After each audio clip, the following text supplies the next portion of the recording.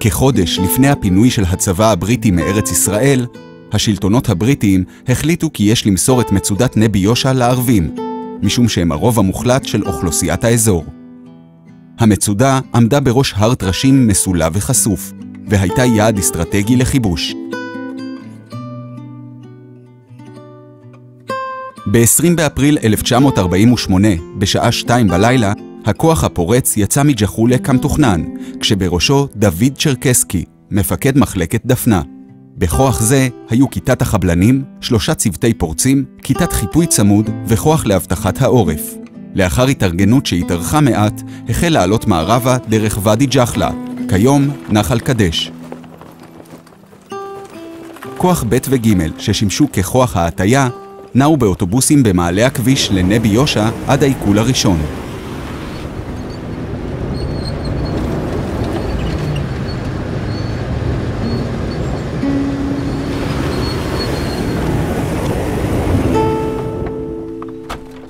כוחות ההטעיה ירדו מהאוטובוסים והחלו לצעוד לכיוון רמות נפתלי, ואדי אינסוף, שהיה דרך התנועה הרגלית מעמק החולה לרמות נפתלי.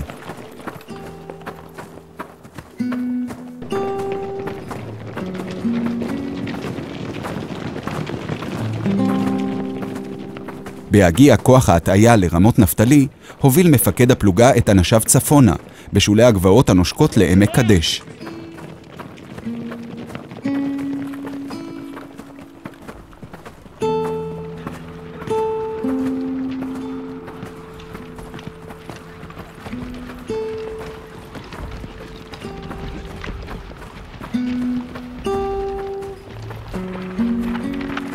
המקל"פים נשאו את המקלעים והחצובות על גבם, והתמקמו בעמדות ירי כ-200 מטר מן המצודה.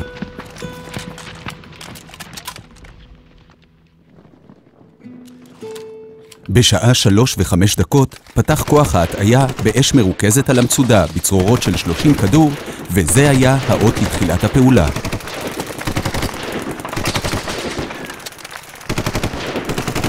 כשהחל הירי של כוח ההטיה, החל הכוח הפורץ להתמקם צפונית למצודה ובסמוך לגדר. יחידת החבלנים של הכוח הפורץ קרבה אל הגדר והחלה חותכת אותה במגזרי תיל. חיתוך הגדר נמשך זמן רב, והזמן החל לדחוק. היה חשש שיאיר היום ויאבד יתרון הלחימה בלילה.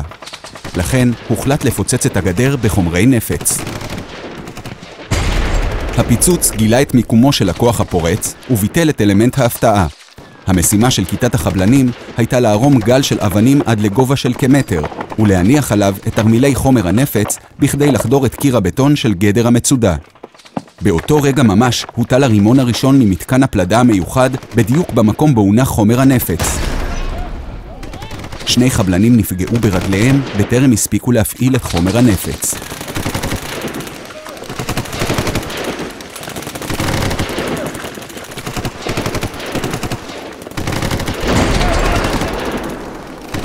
דודו הגיע אל הגדר והבין שחומר הנפץ לא הופעל. הוא ניסה להפעיל את המטען, אך נפצע בעצמו. בשוכבו פצוע, ירה בתת המקלע אל פתח קופסת הרימונים, עד שנדם. הנשארים מהכוח הפורץ החלו נסוגים בחיפוי המקלענים. מקלען אחרון, יזהר הרמוני, נשאר לחפות על הנסיגה.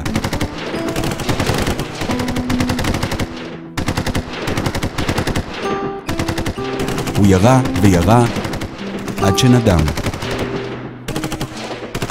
מרבית אנשי כיתת החבלנים והפורצים שהגיעו אל הקיר שהתפוצץ, ניסו לחלץ את חבריהם הפצועים תחת אש וגילו גילויי גבורה בלתי רגילים. החיילים סייעו איש לאחיו, ורבים הקריבו את חייהם תוך הושטת עזרה לחבריהם. 22 מאנשי הפלוגה נפלו בהתקפה השנייה על כיבוש נבי יושע. התברר ללא כל ספק שרוב האבדות נגרמו כתוצאה מניסיונות לחלץ את החברים הפצועים תוך כדי הקרב.